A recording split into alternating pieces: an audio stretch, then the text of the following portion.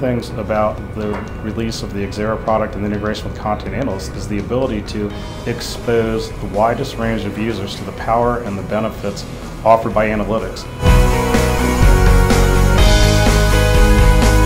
iCONECT's done an incredible job packaging, masking the complexity of the analytics and focusing on delivering value to the users. And this applies to all the different platforms and all the different size firms in the market. It's our belief that this new offering will allow iCONECT to touch the market on a much broader basis that's been done up to this date